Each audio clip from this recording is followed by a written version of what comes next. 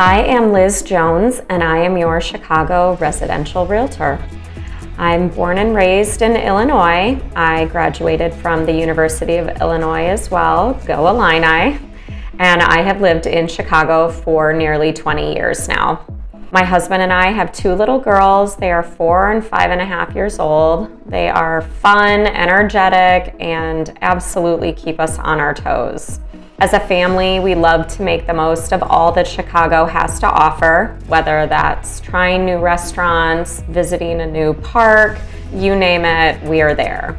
I gravitated towards starting my career in real estate for the relationship aspect more than anything. Um, I love to build connections with my clients. I know that buying and selling a home is one of the biggest decisions that they may make, and so I really feel grateful that they've chosen me to help support them. I can say without certainty that there is no better place to plant your roots than here in Chicago.